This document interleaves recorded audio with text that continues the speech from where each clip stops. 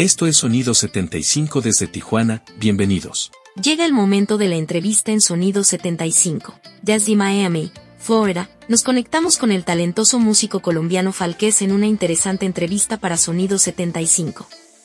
Falqués ha creado un estilo distintivo al fusionar el rock con elementos de power pop y su haze, dando vida a una propuesta musical personal y auténtica. Su enfoque se centra en transmitir emociones profundas a través de sus canciones, las cuales están impregnadas de vivencias e historias que han dejado una huella en su vida.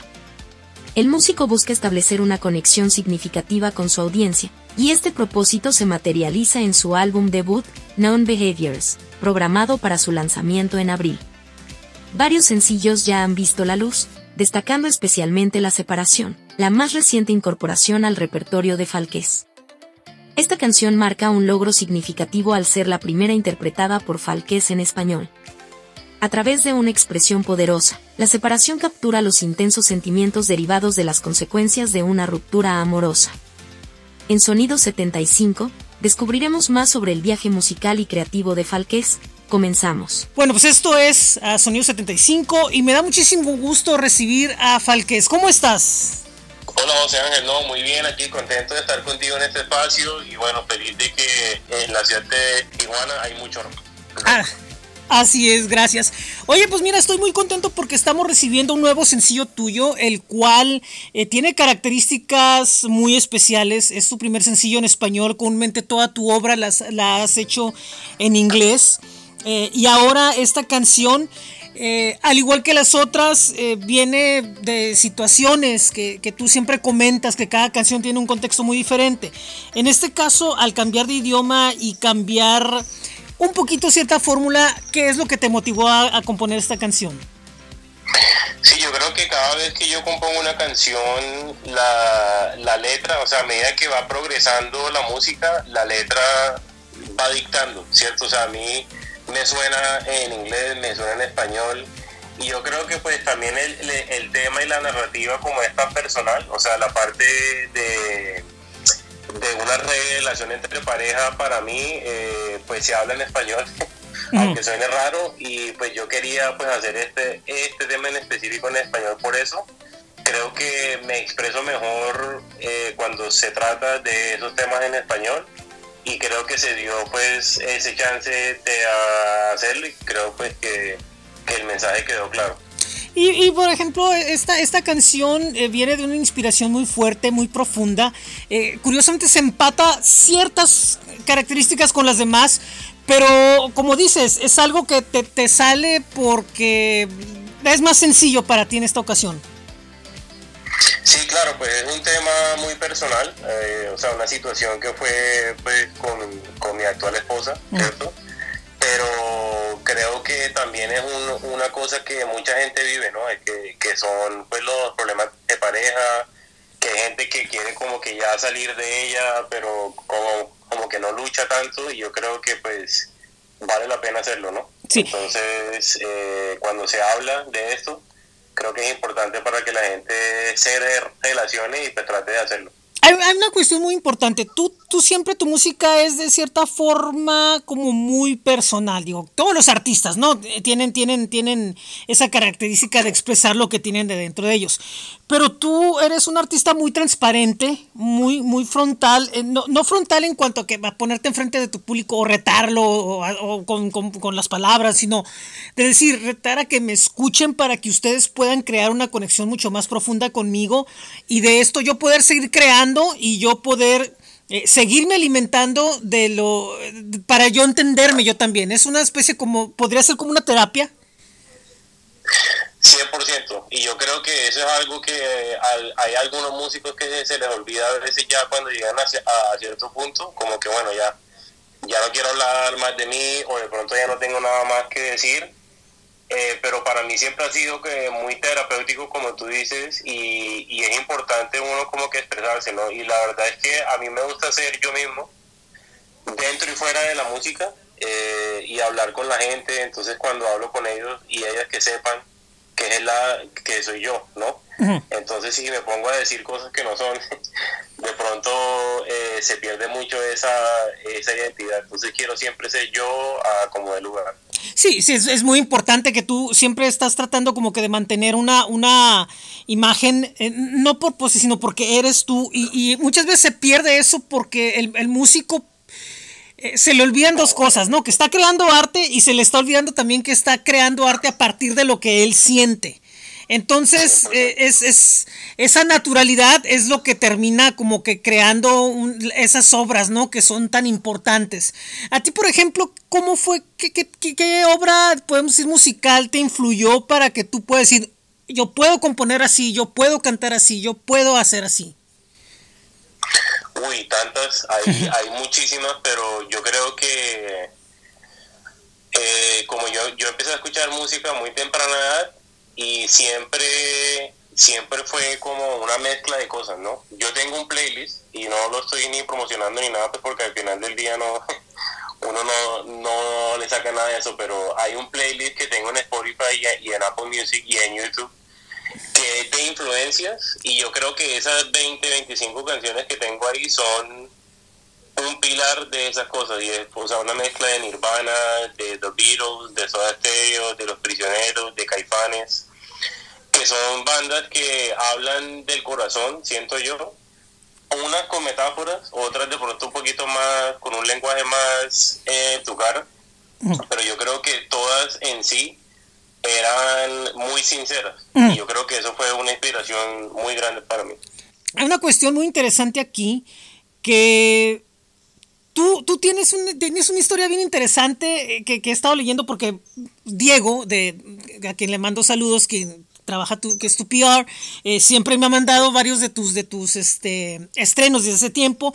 Entonces en cada uno describe diferentes cosas y diferentes historias y razones detrás de las canciones, pero también razones del por qué tu obra o tu, tu música está eh, pues está saliendo ahorita y, cómo se está moviendo.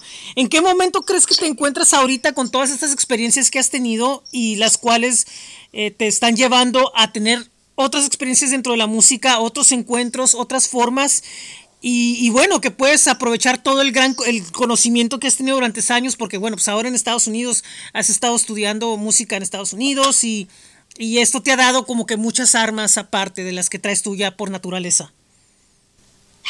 Sí, no, hay, hay varias partes. Es una buena pregunta porque yo creo que los músicos en sí se enfocan mucho en, en hacer la música, ¿no? O sea, como que en hacer su arte, en componer, en grabar y en, y en sacar su música, pero a veces se les olvida un poquito lo que es el negocio y lo que es el mercadeo de esa música. Yo no me estoy enfocando 100% de la manera como yo mismo lo, le ayudo a otros, porque yo también hago eso, pues... Eh, eh, o sea, en mi vida laboral, eso es lo que yo hago. Yo ayudo a artistas pues, a todo lo que es con la parte del marketing digital eh, y hago, digamos, que el 10% de las cosas que digo, ¿no? O sea, en, casa de herrero, sí, entiendo, sí.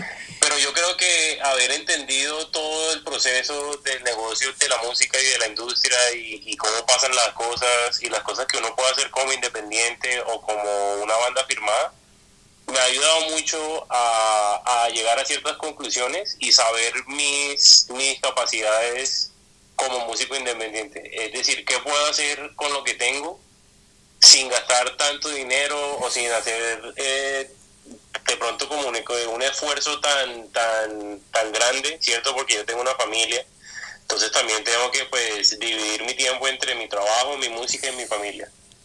Entonces, basado en todo eso y pues los 25 años que llevo en esto, bueno, más de 20 años eh, que llevo tocando y todo, eh, pues he aprendido como que, bueno, a navegar eso, e, ese océano que es tan complicado, pero que al final del día se llega al mismo sitio, ¿no? Entonces es, es, como una combinación de conocimientos, de experiencias y aplicarlo a la manera que yo pueda con las cosas que, tenga, ¿no? Tampoco me voy a salir de mi, de mi eh, o sea, si no puedo hacerlo, ya sea por, por tiempo o por finanzas, pues no lo voy a hacer. Sí, claro. Priorizar. Sí, por supuesto. Eh, siempre, siempre está eso por delante. O sea, el hecho de que hay situaciones que tú quisieras tener como que una comodidad para poder, no sé, crear más música o, o tener ciertas cosas o, o, no sé, experimentar.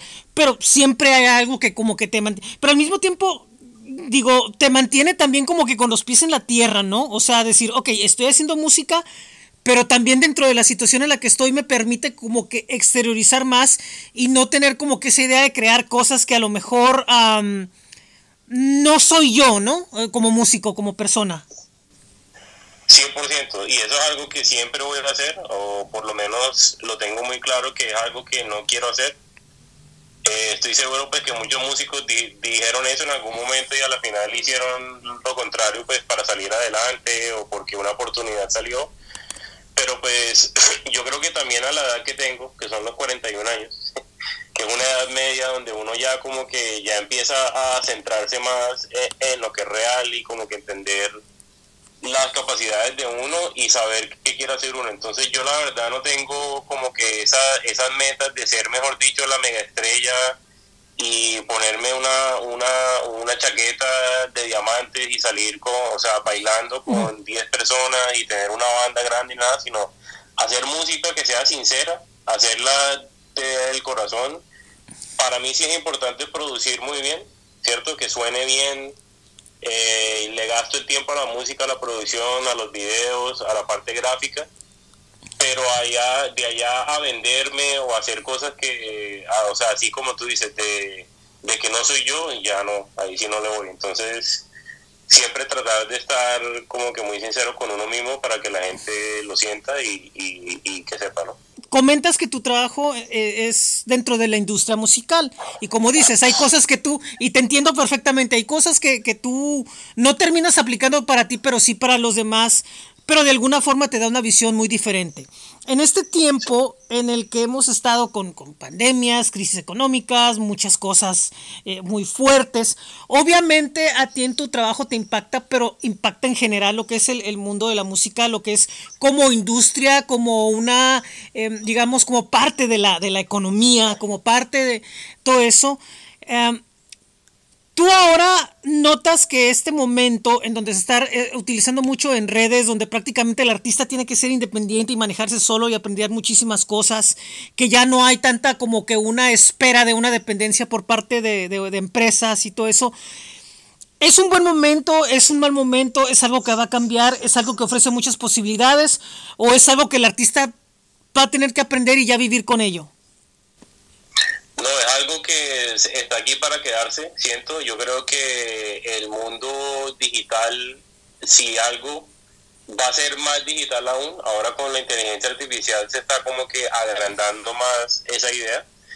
Siento que podemos aprovechar muchas cosas de la tecnología y, y pues yo creo que hay muchos artistas, como dices tú, que de pronto les da miedo o de pronto como que, uy, no, yo no quiero hacer todo ese trabajo, pero pues ese trabajo lo han hecho siempre, solo que no se ha visto tan de frente, ¿cierto? O sea, el, tú ves a un artista, pon tú, de los 80 o de los 70 o de los 90, esos artistas trabajaron demasiado, demasiado, o sea, por muchísimos años para llegar a donde estuvieron y nadie vio eso, o sea, solamente la gente que estaba en ese mundo, ¿cierto? Ahora está muy, muy, muy, muy al aire, o sea, todo el mundo lo puede ver, todo el mundo sabe qué están haciendo cada segundo y yo creo que eso hace parte de la magia de conectarse con la gente y hay que aprovecharse de eso. Entonces, más que venderse, ¿cierto? Porque eso es lo que mucha gente hace, o sea, se pone un aviso de, de a la venta en redes sociales como que mírame, mírame, mírame. Yo creo que ser, ser muy honesto y ser sincero va a ayudar muchísimo a continuar eso, ¿cierto? Entonces no es tan difícil, solo que hay que hacer el trabajo.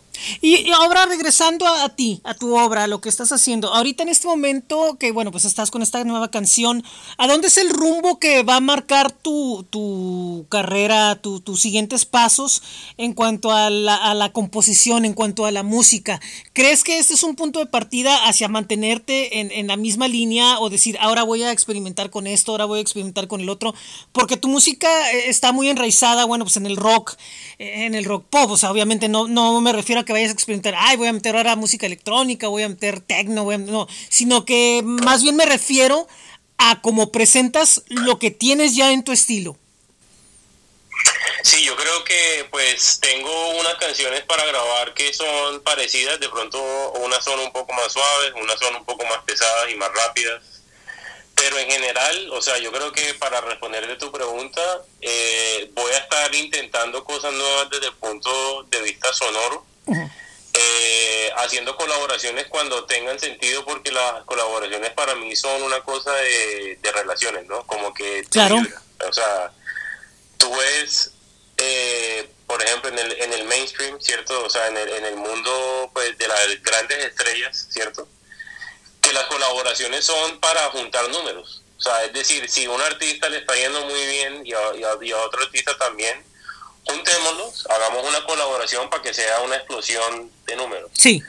Para mí es más que todo como de feeling. Eh, o sea, es decir, si, si nos caemos bien, si hay una química, si de pronto nos entendemos con, con estilos, así sea un estilo aparte o otro, yo creo que esa intención de querer hacer algo con alguien es importantísimo para hacerlo y eso es algo que quiero hacer eh, y obviamente pues tocar en vivo, que el show mío en vivo va a ser un poco distinto porque mi banda no es no es tan estática, o sea, mi banda es eh, puede fluctuar, a veces puedo tener una persona o a veces puedo tener tres.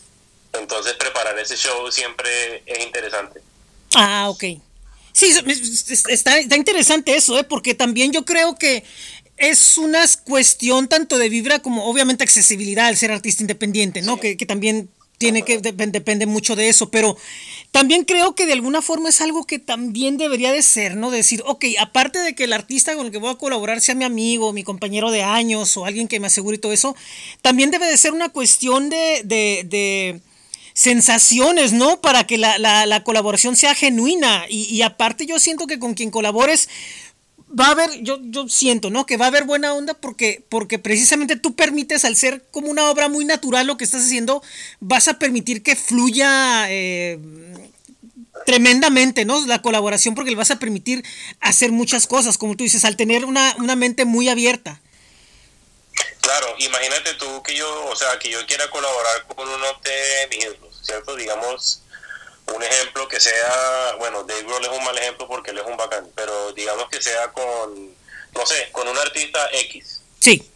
Y yo digo, bueno, ese artista para mí es el sueño, grabar con él o con ella y poder colaborar y entonces se logra ese sueño, digamos que se logra el contacto y te dicen que sí y de pronto llegas a, allá al estudio o donde van a hacer algo y de pronto parece que no hay química en, lo, en lo personal no va a funcionar por mucho que te guste la música de él o ella o de ellos, porque la parte esa de la vibra es vital para que todo sirva. Entonces, de ahí parte todo. Así sea una mega estrella o sea una persona que toca en su casa con, con, con, cero plays, no importa. La vibra para mí es lo, lo más importante. Y bueno, pues obviamente estamos hablando sobre exploración artística y sobre cosas que deseas hacer y deseas presentar. Eh, ¿Qué es lo que, lo que, lo que te falta como, como artista, como creador? ¿Qué, qué, punto crees que falta para que puedas decir, creo que esto me va marcando un, camino, todo, porque lo que estoy sintiendo yo es como que, como que, exiges mucho de, de, ti y es, y es común como artista, eh, eh, exiges mucho porque sientes, ¿no? Que, necesitas crear algo que conecte, que, encuentre el corazón de la gente. Sí, yo creo que en cada, en cada grabación y en cada video que se hace, de pronto hay, hay un, un proceso donde uno pasa, donde a veces uno piensa como que no, esto no va a servir, o o no soy bueno, o de pronto no sé cantar, o soy el peor guitarrista del mundo. y yo creo que eso le pasa a mucha gente, a, muchos artistas, y es simplemente creer en uno mismo al máximo, o sea, siempre, porque siempre va a pasar donde va a haber un momento donde uno dice, bueno, eh, ya, ya superé eso.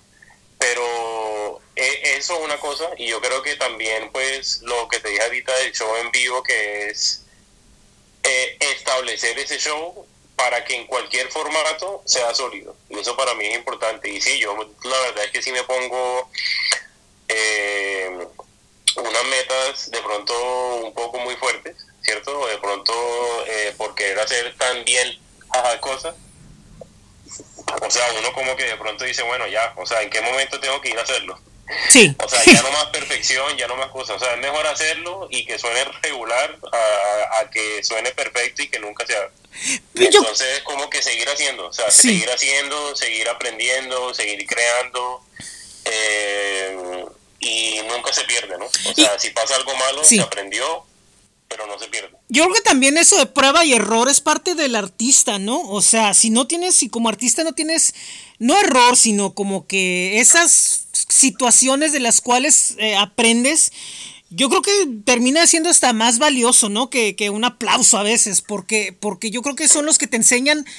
Yo, yo siento que muchas veces al, crítico o a la gente y todo se le hace muy fácil decir, señalar y, y, todo eso, pero uno no sabe la situación del artista, ¿no? O sea, de dónde, de dónde tiene, de dónde crea o qué es lo que le da para crear y, que no importa lo que a muchos les puede parecer malo, bueno, X, Z, en realidad el, artista, el artista es el que tiene la objetividad y el crítico, el público tiene la subjetividad, ¿no? O sea, es algo que, que yo, yo con el tiempo me he dado cuenta de eso, ¿no? O sea, que es muy curioso que nosotros en realidad los objetivos totalmente somos nosotros y el artista tiene un objetivo muy claro y una idea muy clara de lo que quiere y, y puede para muchos ser algo que no destaque, pero si el artista está contento, yo siento que a fin de cuentas eso vale. Y eso lo puedo aplicar dentro de la industria donde muchas veces criticamos a, ciertos artistas, ciertas tendencias, ciertas cosas que hay. Pero si ese artista, ese estilo musical hace felices a un millón de personas, yo creo que, el, que lo que digamos 100 no va a valer, no va a valer nada, ¿no? Contra las, las evidencias, ¿no? Aunque claro, también está al lado mercado técnico, ¿no? Que es poderosísimo. Digo, tú lo entiendes un poco más, más que yo. Eh, pero, pero creo que las dos cosas tienen una cierta relación en algún momento dado. Yo siento que es un tema súper importante para hablar, ya, o sea, en cualquier formato. Yo creo que no solamente en la música, pero yo creo que el crear algo, o sea, alguien que se dedica a crear arte o a crear algo desde cero, lo crea porque así lo siente. Y en ese momento, por ejemplo, en ese momento específico, o sea, vamos a hablar un poquito de, metal aquí, ¿cierto? Sí. Metallica tiene un álbum que se llama Saint Anger, que ha sido criticado por muchísima gente que porque suena que el, que el redoblante de Lars Ulrich suena horrible o que la, o que las canciones son así, o sea, en ese momento de Metallica, de la vida de ellos, de la carrera, que esas rolas o esas canciones que hicieron en ese momento eran como tenían que haber salido y como tenían que haber sido hechas. Entonces yo creo que lo que tú dices, la, la, la objetividad que debe de la gente y que tal vez dicen, no, pero es que eso no es, no es Metallica, o sea, ese no es el Metallica que tú conoces y sabes, ¿cierto? Pero hay otro Metallica, que hay otro, otro mundo que sí le gusta. Y eso aplica en todo, o sea, eh, con los actores, con los artistas, eh, con, con, los programas de televisión, con todo. O sea, todo tiene un momento y un lugar y yo creo que merecen su espacio y, y, yo creo que el artista está en su derecho de crear y de, y de tratar cosas y y de intentarlas y a ver qué pasa, porque en ese momento la, la inspiración fue así, ¿cierto? ellos no van a, invertirle miles de dólares, millones de dólares a, un proyecto si ellos no creen en él. Sí, no, y, y, y, sí, y está la mala concepción de que el artista nos debe 100% a nosotros, ¿no? Y yo creo que el artista se debe, se debe 100% a él y después a nosotros. O sea, porque lo que está presentando es algo, pues entonces no es artista, ¿no? Va, a ser alguien que simplemente va, a ser un bufón que complace, ¿no? Al, al, al, rey, ¿no? Como los tiempos, así, ¿verdad? O sea, lo vemos de esa forma, eh, sería así. 100%, yo creo que también ahí es donde empieza de, no, pero ¿por qué se acabó? O sea, ¿por qué se acabaron los virus, por ejemplo? Porque los virus decidieron terminar con eso que en ese momento era. O sea, lo que ya lo que fueron por los años que fueron, ya ellos dijeron, de aquí en adelante no vamos a poder ser los virus que la gente nos conoce o de pronto ya no hay química o lo que sea y se acaba acá.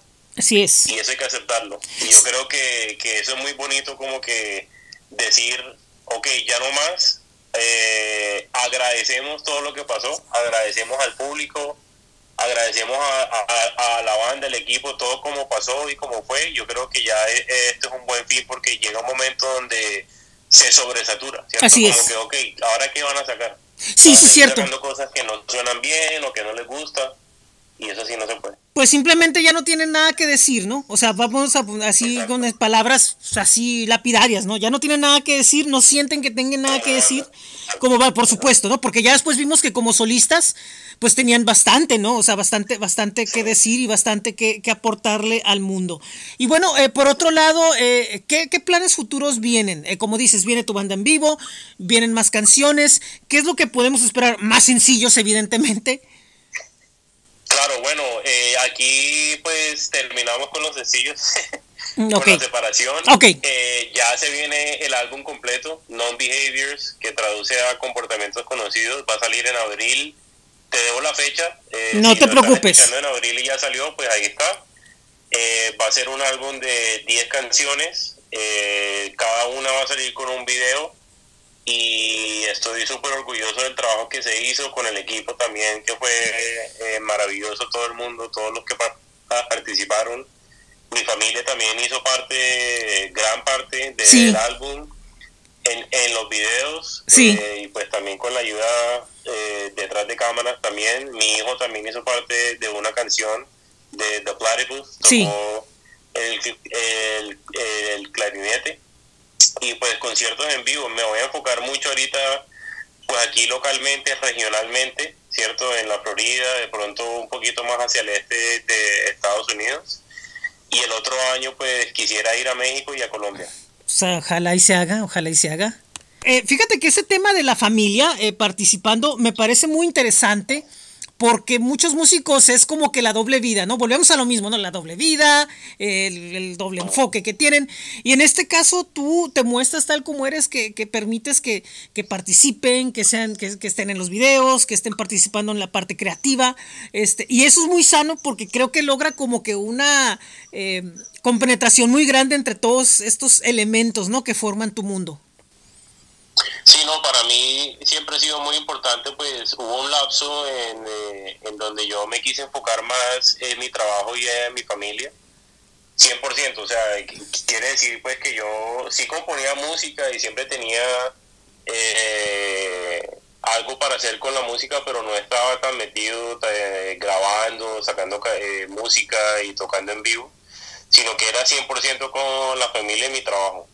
Entonces yo dije, bueno, de pronto ahora es el momento para, para hacer mi música, o sea, ya, ya estoy en un momento donde puedo como que enfocarme en algo para mí, eh, lo quiero hacer y quiero incluirlo porque pues ese soy yo, o sea, eh, las canciones también pues de alguna manera retratan lo que pasó en esos 10 años, eh, y, también es importante eh, ser real, ¿no? O sea, lo que siempre te dije ahorita, o sea, ser, ser muy sincero, porque al final del día eh, uno termina una carrera, lo que sea, y ahí es cuando empiezan a salir verdades que, ah, guardando uno un secreto sí, por así es. tiempo, o sea, es mejor serlo así, eh, expresarse, decir lo que uno siente y pues, ¿por qué no incluirlo, no? me, me siento que ha sido como que una actividad muy, muy chévere entre los cuatro y, bueno, quiero seguir haciéndolo.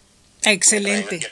Excelente. Oye, pues te agradezco muchísimo estos minutos. Estuvo muy agradable conocer eh, tu universo creativo, eh, este tipo de, cuestiones con la familia y, y, también este, pues que podamos conversar un poco, ¿no? Sobre temas muy importantes relacionados con la música, que a fin de cuentas, como yo siempre le digo a los invitados, eh, terminan relacionándose eh, con, el, con el artista. Nunca nos desviamos, aunque pareciera que sí, eh, siempre termina todo cayendo en, el, en la misma caja, ¿no? Entonces eso es muy importante porque creo que ofrece un panorama muy interesante de, de tu obra. Para quienes quieran conocer más de ti, en dónde te pueden escuchar, dónde te pueden localizar y donde eh, pues pueden ponerse en contacto si desean. Claro que sí. Bueno, José Ángel, de verdad que muchas gracias por el espacio. Eh, muy contento de, ver todo lo que estás haciendo en Tijuana iRock, siempre pendiente de esos playlists tan jugosos que tienes, que es una variado en todas partes. Y me encanta eso. Entonces, eh, felicitaciones. Muchísimas gracias. Y sí, pues por, por mi cuenta me, pueden encontrar en, en, redes sociales como arroba falquez tengo una página web eh, que se llama falquezfalquez.com y ahí pueden encontrar links, eh, canciones, cada canción tiene una página y tiene la letra, los créditos, el video, una explicación de cada cosa. y en plataformas pues aparezco como Falquez, F-A-L-Q-U-E-Z. Muy bien, perfecto. Pues de nuevo, muchísimas gracias. Saludos a toda la familia, saludos a tu equipo de trabajo. Muchísimas gracias a Diego Báez que hizo posible esto de, eh, desde ya desde, Colombia. Muchísimas gracias y bueno, eh, pues no me queda otra más que agradecerte, agradecerte y agradecerte y cualquier cosa, pues aquí estamos en Tijuana iRock. Muchísimas gracias, muy amable. Eh, de nuevo, muy agradecido. y pues seguimos, seguimos aquí, seguimos aquí, con mucho gusto. Verdad, muchísimas gracias por el espacio. Muchísimas gracias, nosotros seguimos, esto es Sonido 75. Falqués, la separación.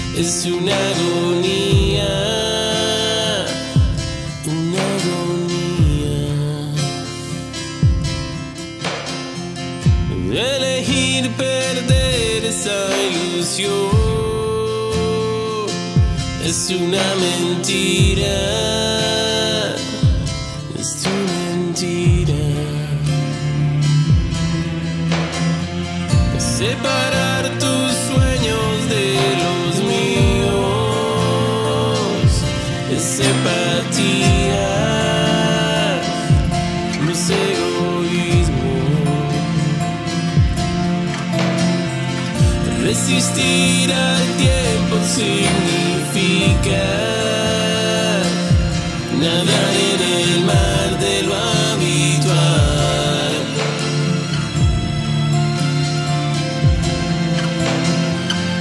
Descifrar un mar de pensamientos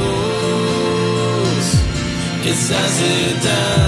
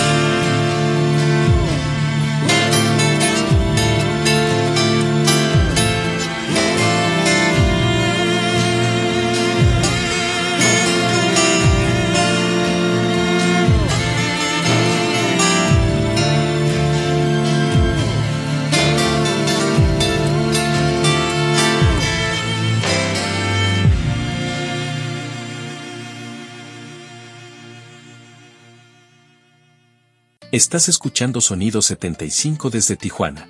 Hola, ¿cómo están? Aquí en este sábado nosotros estamos de regreso y bueno, pues encontramos por ahí algunas alternativas para poder continuar con este programa, lo cual nos da mucho gusto porque bueno, pues es un proyecto en el cual hemos trabajado mucho y bueno, pues no nos gustaría que terminara así nomás y pues ahí está. Eh, espero que hayan disfrutado la entrevista con Falqués, le agradezco una vez más por sus minutos, por su atención. Eh, ahí hicimos lo posible por tratar de tener una entrevista extensa, creo que lo logramos y creo que valió la pena eh, haber conversado con él. Quisiera agradecerle mucho a quien hizo posible esta entrevista, Diego Báez, él es periodista colombiano, él forma parte eh, de Colectivo Sonoro, es uno de los nervios motores de este proyecto y bueno, pues él por su, por su parte de ser periodista, también, bueno, pues se dedica a lo que es el PR, a, hacer eh, pulirrelacionista de, de, grupos eh, de rock de su país, de otros lados del continente, de artistas solistas. Y bueno, pues se da la oportunidad de que nos permite hablar eh, con Falqués. Bueno, eh, aún no retomamos el paso con el programa, que es como siempre lo hacemos de una hora. Estamos trabajando todavía para poder eh, generar más contenido y poder tener el programa en el tiempo que siempre hemos tenido, que son, bueno, pues una hora semanal o, cada tres días. Y bueno, pues estamos en ello. mientras tanto, quiero recordarles que está el blog mm, es que n9.cl diagonal en Tijuana rock. Eh, ahí hay notas todos los días del mundo de la música y estamos empezando a traer diferente información. Por ejemplo, estamos empezando a compartirles información de lo que es el Tecatepal Norte. Eh, tenemos una serie de entrevistas con bandas eh, de, todo el mundo. gracias a Earshot Media, una agencia en, California que está haciendo posible poder tener contactos con varios artistas muy interesantes. Eh, también, eh, para quienes quieran seguir leyendo más, está en la serie de entrevistas de The Metal Sessions. Con, ahí le agradezco a, este Hard Life en, Holanda, a Hard, Rock en, en, Polonia. Y bueno, pues tenemos mucho, mucho que compartir. Estamos creando alianzas, estamos creando nuevas formas de tener contenido, porque para nosotros, bueno, pues es muy importante seguir eh, creciendo y, bueno, pues de eso se trata Sonido 75 y de eso se trata eh, en Tijuana iRock. Por cierto, como en Tijuana iRock nos pueden encontrar en Facebook, en Threads, en TikTok, en Instagram. Ahí nos pueden encontrar también por ahí. Recuerden que pueden enviarnos su música a través de Groover, donde nosotros bueno, pues nos encargamos de difundirla con nuestro público. Eh, también eh, recuerden que este programa lo escuchan a través de spotify.com diagonal sonido 75 o, o rebrand.ly diagonal eh, sonido 75. Y, bueno, pues hay muchas formas de estarnos comunicando. Poco a poco, durante estas semanas, vamos a estar con más calma hablando sobre los proyectos que vienen, cómo vamos a ir desarrollando esto y poco a poco ir retomando el ritmo. Yo les agradezco muchísimo, una vez más, Falqués, Diego Báez, les agradezco a ustedes que, compartieron, escucharon, que van a seguir escuchando esta entrevista, que la van a escuchar después, que escuchan las demás que hemos tenido. Y bueno, poco a poco vamos a ir pues desarrollando eh, también este programa con, nuevas formas. Bueno, muy buen día, muy buena tarde, muy buena noche, muy buen domingo que tengan. El próximo miércoles los espero. Vamos a tener algo con eh, Tangerine Flavor desde Madrid. Y después de ahí vamos a tener otras entrevistas muy interesantes. Poco a poco estamos retomando el calendario y agregando otras entrevistas, darle un poco de más variedad. Mi nombre es José Ángel, esto es Sonido 75. Una vez más, muy buen día, muy buena tarde, muy buena noche. Y nos escuchamos el miércoles. Gracias. Estás escuchando Sonido 75 desde Tijuana.